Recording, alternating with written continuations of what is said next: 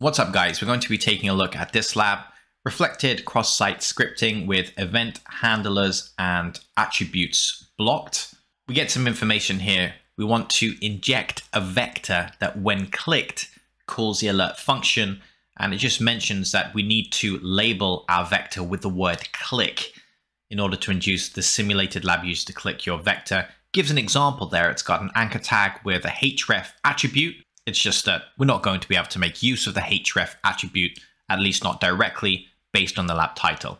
So we'll notice that some tags are blocked by this search field. For example, if we try a h1, we get this JSON response tag is not allowed. This is actually generated by the web application firewall. However, we'll see that certain tags actually bypass the firewall. So for example, if we just had an anchor tag with click me and close the anchor tag, Let's try searching for this. Let's see what we get. So you can see we have click me rendered to the page. Notice when I hover the cursor, it's underlined. So it's behaving like an anchor tag, like a hyperlink. And sure enough, if we inspect the element, we can see that it is in fact injected into the page. We can see an anchor tag. Now, as we mentioned at the outset of the lab, the ideal scenario here is that we just provide a href attribute.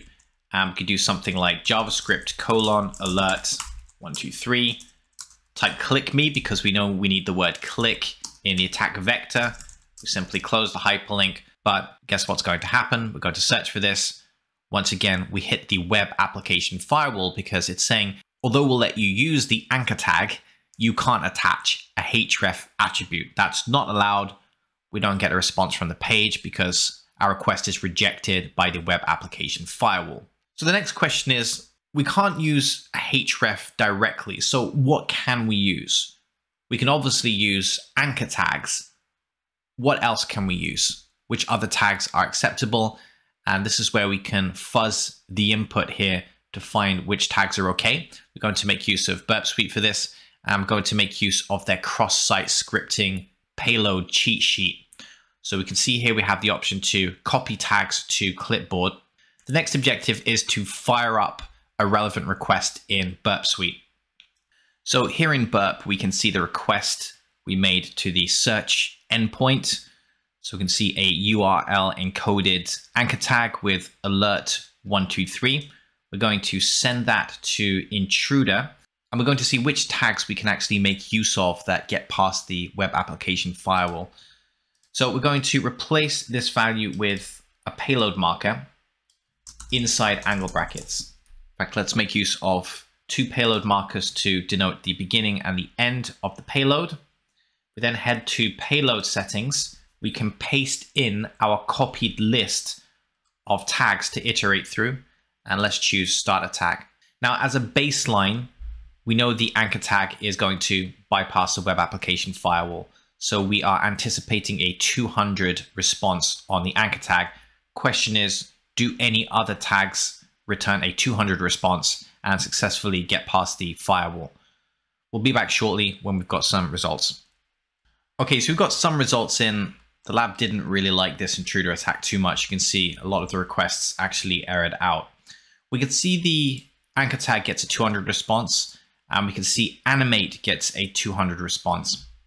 And if we check the MDN web docs, we can see that animate is actually an SVG element. So it's logical to guess that possibly SVG tags are going to be allowed as well. Okay, so as a test, let's see if we can actually pass SVG tags into the query box. We search, we can see we get a response from the server, which means this is not being blocked by the web application firewall. So we know so far that we can make use of anchor tags, we can make use of animate, and we can make use of SVG tags.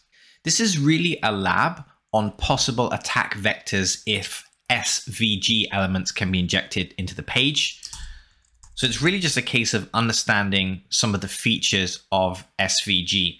The idea is we can define markup for an image, but one of the other things that we can do inside SVG tags is we can make use of elements. So for example, we could have an element like an anchor tag, and we could simply have click me, and then we could close our SVG.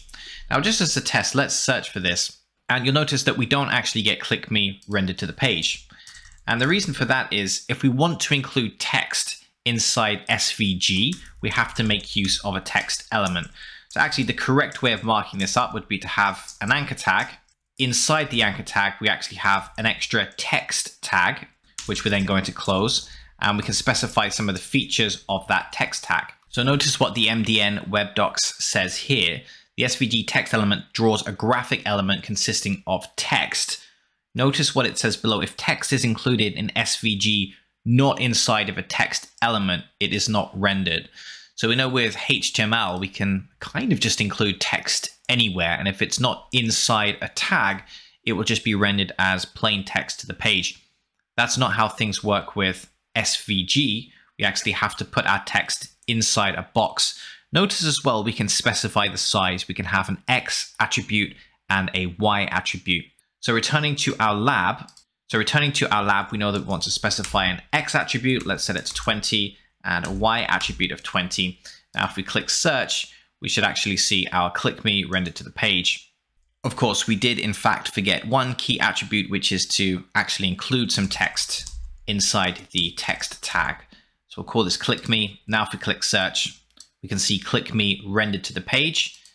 It's an anchor tag. In fact, if we inspect this in the DOM, we'll see that we have an anchor tag and we have text inside of that anchor tag.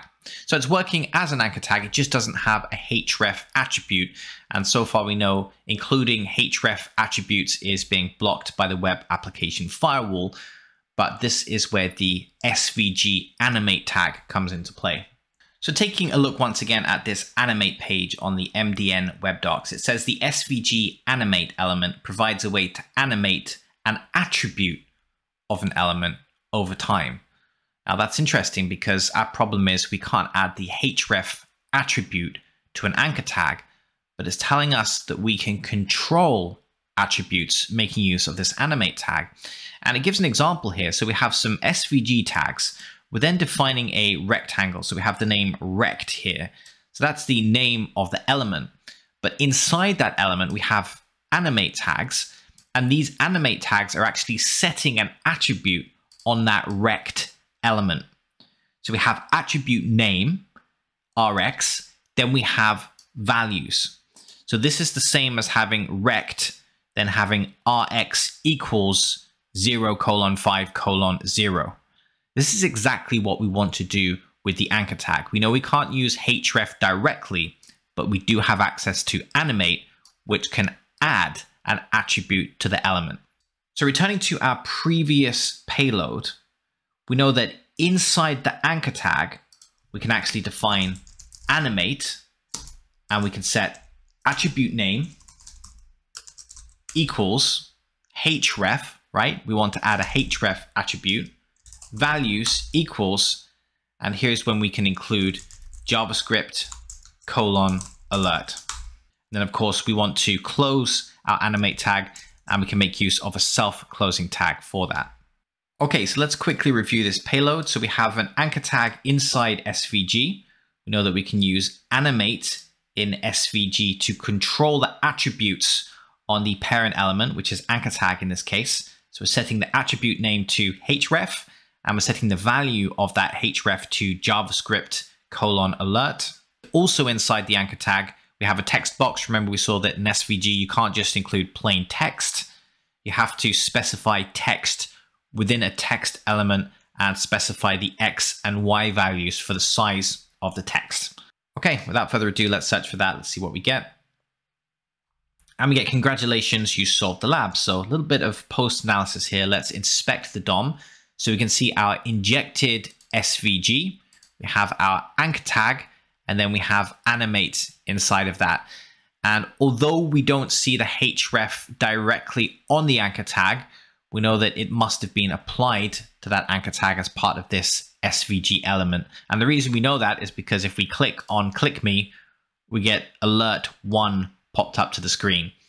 So although we can't see anchor tag href equals JavaScript colon alert one, we know that it's working that way because we get the exact same result. When we click on this, we get the JavaScript alert. So quick summary here. This is really a lab mostly about understanding the different possible attack vectors if we have access to SVG elements. And it's quite often the case that developers don't always use SVG. You could have a fully fledged web developer that really doesn't make use of SVG too often.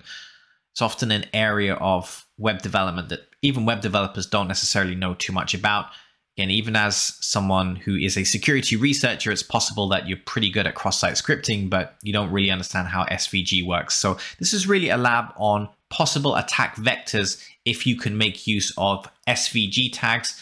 And we've seen some of the features of SVG, how, for example, you need to make use of that text element to include text, and how you can control the attributes of parent elements by including that animate tag within inside a parent element inside an SVG container. All right, that's pretty much it for this lab. Hope it was helpful. Thanks very much for watching, guys.